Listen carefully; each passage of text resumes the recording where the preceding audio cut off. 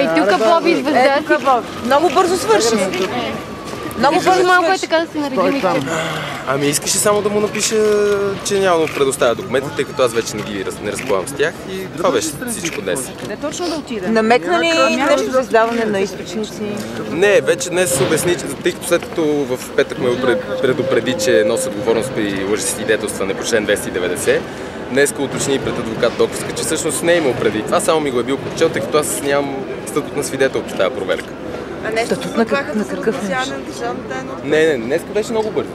Всъщност, Добре, какъв статут какво имаш на какво? Да, какво искат да от кажеш кой ти е дал. Да, нищо друго не ги интересува. Еми не, днес дори и това не ме попита вече.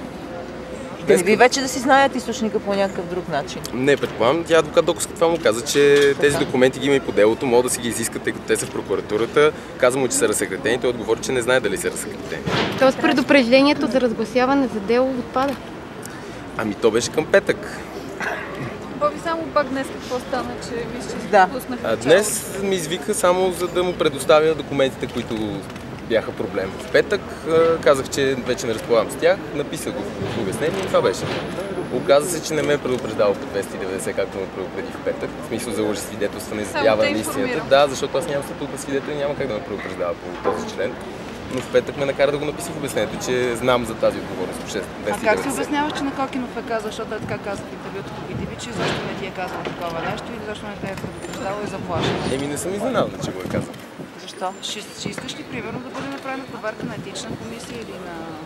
Ами то няма проблем да, да поискам. Въпросът е, че, това няма е дума срещу дума. Ние сме в един кабинет, аз и той. Той казва, че не, не го е казал, аз казвам, че го е казал. Сама се сещаш какво ще стане след това. Приключи ли за тебе казус с прокуратурата вече? Ми мисля, че да. Няма. Поне това личи от изказването на господин Кокин.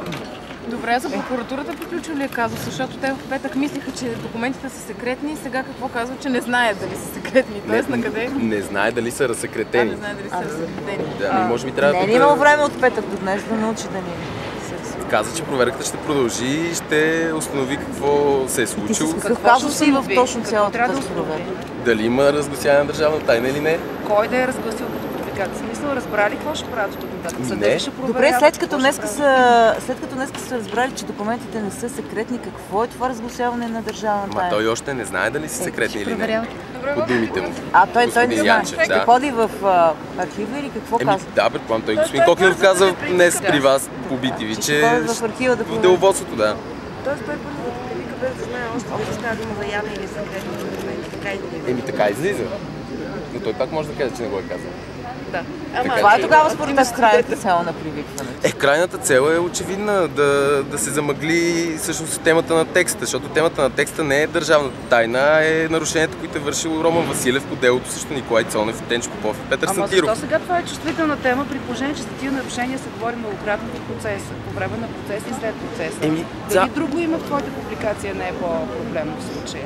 Ами очевидно, че може би това, че в един от документите личи подписа на Сотир Цацаров, е, който вече е главен прокурор, а тогава е бил председател на окръжния съд в Пловдив, също има някакво значение за това казус, за да стане точно така цялата ситуация. Какво значение има, че, го, че, че господин Роман Василев е изложил и Сотир Цацаров още тогава? Ами от тези документи излиза, че той го е подвел. Да, така излиза. Така излиза. Да подведен. Под, подведен от един заместник. А, а, за, мен, за мен по-притеснителното в случая е, че прокуратурата за сега, поне от публичните изказвания, личи, че те не се притесняват изобщо от това, което пише в текста. Което ние всички знаем и всички сме чули в съдебна зала в продължение на колко две години трябваше това дело.